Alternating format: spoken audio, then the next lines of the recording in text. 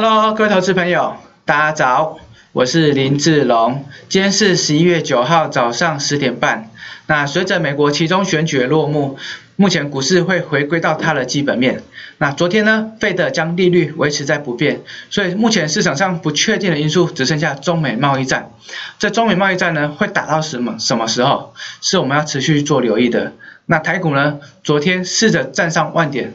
但是万点这边套牢卖压实在是太沉重了，加上量能量能不出，量能不出呢，要攻过这些套牢卖压是不容易的，所以目前台股呢必须要放量，放量才可以站上板压区。那我们来看一下美股，S P 五百呢，在前天晚上一根长红 K 棒，那它这边呢涨上来之后，已经向季线靠拢了，接下来会开始面临到季线的压力。那这种可以跟大家讲。这边呢，大区间你必须站上季线，甚至是站上这根长黑 K 的高点，那才会开始走一个偏多头的格局。目前看起来呢，SP SP 五百美国指数还是会在这边持续反复去做震荡，三大指数会在这边持续反复震荡，直到过了这个长黑 K 的区间上缘才会开始改变。那目前呢，美股回归到基本面之后，我们就是要去留意中美贸易战后续会打得怎么样。那美股如果是这样走的话，台股会怎么走？台股呢？昨天站上月线，与月线拉开了距离。那美中不足的是量能不出，收了一根上影线。那这边呢？台股会持续在这个长黑 K 的区间去做整理，在十月十一号长黑 K 做整理，在这边个股多空都有机会。但是投资朋友，你要留意的是，今天大盘大跌。那万一这个区间又跌破的话，就会开始往下面这个区间去做迈进。那跌破这个区间下缘九千七，那就是另外另外一个跌幅的开始。那这边呢，就是两个关键价位，区间下缘九千七。那什么时候封封闭缺口一万零三百？为什么这个一直跟大家讲，这个缺口有没有封闭差很多？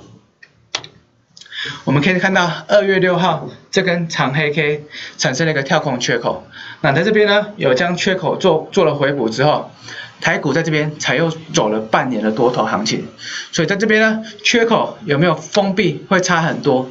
那目前呢我们看到。站上月线之后，有机会可以慢慢往上攻坚，在这边反复震荡往上攻坚，只要不跌破这个九千七百点都有机会。但是，总要提醒大家是，中期趋势还是走空，中期趋势要回补这个缺口之后才会偏多头。所以目前呢，就是两个价位，九千七跟一万零三百，万一突破一万零三百，那就是走一个偏多的格局。但是呢，万一跌破九千七的话，那盘呢又是空方取得控球权。那我们可以看一下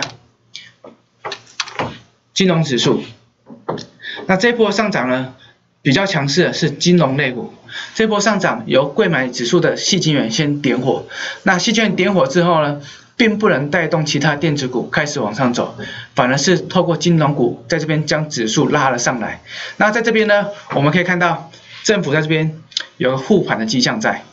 政府这边为了选举行情，在这边一直在买进金融股。那金融指数拉上来之后，我们要去观察电子股到底能不能跟上。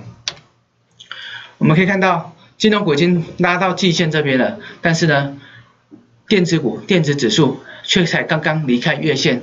那昨天呢，却收了一根黑 K。那电子股呢，到底能不能接棒演出？这对加权指数后续的走法会很重要，因为我们都知道。加权指数的成分比重占的最大，就是电子类股，所以电子类股这边能不能跟上金融股的指数？那跟上金融指数这边开始往上走，加权指数才比较有容易过了这个一零三零零的封闭缺口，不然电子股不跟，人气没有回来，量能不放，那这边要供要过反压就不是那么容易。